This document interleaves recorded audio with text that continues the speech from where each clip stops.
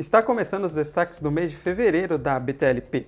O presidente José Maria Gomes, juntamente com a sua diretoria e dirigentes do setor de transporte de todo o estado de São Paulo e autoridades públicas, participaram da cerimônia de posse do presidente do nosso associado SETCESP, Adriano Depentor.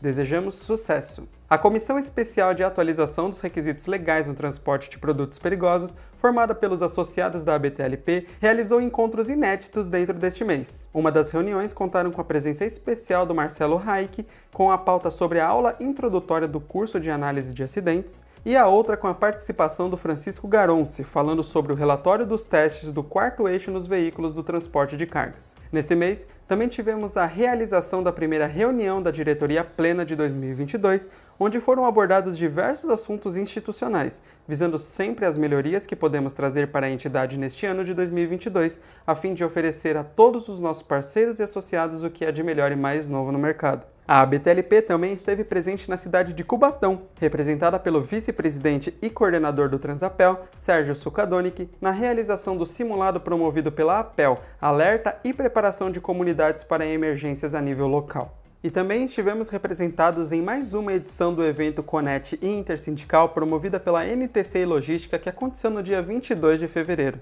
Acesse www.abtlp.org.br ou nos acompanhe em nossas mídias sociais para ficar por dentro de todas as nossas atualizações. Até a próxima!